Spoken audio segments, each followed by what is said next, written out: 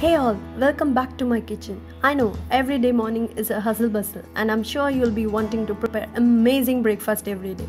A nutritious, wholesome, yummy, and colorful breakfast. Is that what you need? Then this is the perfect recipe for you. It's very very simple and delicious dosa recipe. I'm sure many many of you are trying this for the first time. What are you waiting for? Let's start it. We need cabbage, a small one will do.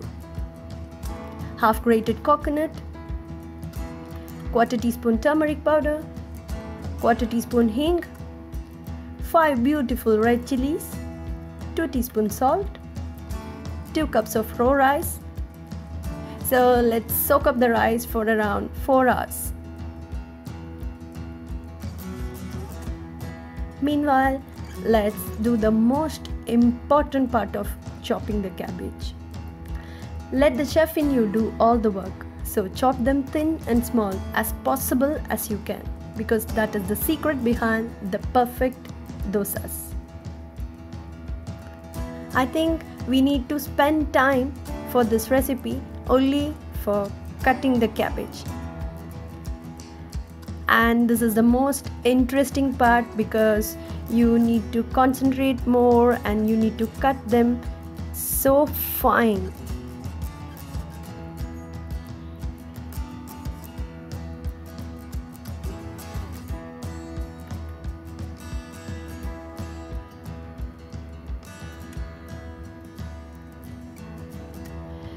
At last, it's all done now. Let's prepare the batter now. So, in a blender, add the coconut, chili, turmeric, salt and finally let's add the soaked rice.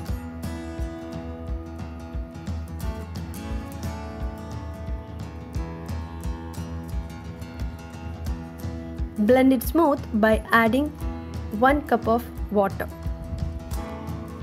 So it's all done now. The batter as well as the cabbage chopped uh, is ready.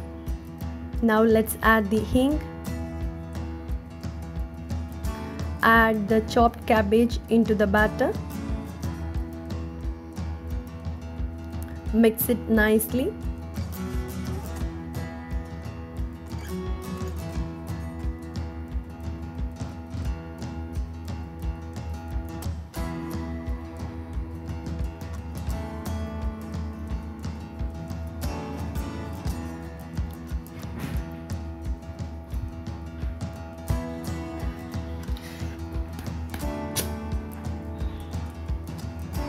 Mix nicely. This is the perfect batter so now let's make the dosa. On a cast iron tawa spread the batter evenly. Maybe you need um, some practice for making this dosa i'm sure you can make it after doing it for one to two times. So no problem. If you make it once again and again you will want to make it because it's so yummy and tasty. Now close it with a lid and wait for 5 minutes.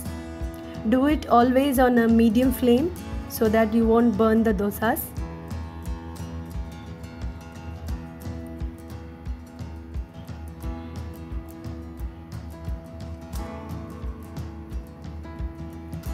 so one side is ready.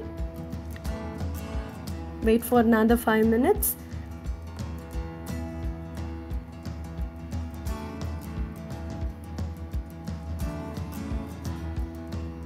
Here is the perfect cabbage dosa for you.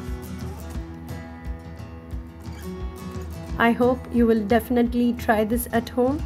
And this is the perfect breakfast recipe for any day you can have it with pickles. So until next time goodbye